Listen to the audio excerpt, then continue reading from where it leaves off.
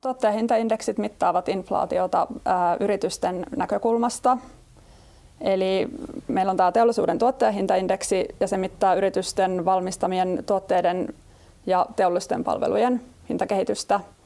Ja sitten meillä on vienti- ja tuontihintaindeksi ja ne puolestaan sitten mittaavat ulkomaankaupan hintojen muutoksia.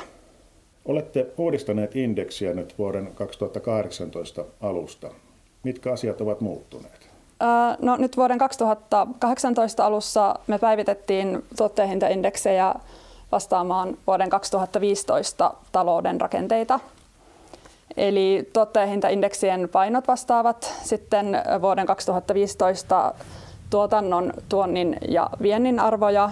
Ja sitten me päivitettiin tai ajantasaistettiin myös yritys- ja hyödykeotoksia. Eli sitten nyt indekseissä on mukana tällaisia relevantteja, olennaisia tuotteita ajantasaisilla painoilla. Ja sitten itse asiaan, eli miltä helmikuun luvut näyttävät? No, teollisuuden tuottajahinnat nousivat helmikuussa edellisvuodesta 2,2 prosenttia ja tuottajahintaindeksien nousuun vaikutti erityisesti paperin ja paperituotteiden, kemikaalien ja kemiallisten tuotteiden sekä sähkön kallistuminen vuoden takaisesta. Ja tuottajahintaindeksien nousua hillitsi sitten puolestaan raudan ja teräksen sekä öljytuotteiden halpeneminen. Vientihinnat puolestaan nousivat vuodessa keskimäärin 2,3 prosenttia.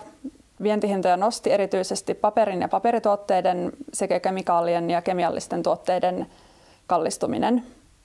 Hintojen nousua hillitsi etenkin raudan ja teräksen halpeneminen vuoden takaisesta. Tuontihinnat nousivat vuodessa keskimäärin 1,9 prosenttia ja niiden nousuun vaikutti erityisesti metallijätteen ja sähkön kallistuminen. Tuontihintojen nousua hillitsi etenkin elektronisten laitteiden halpeneminen vuoden takaisesta.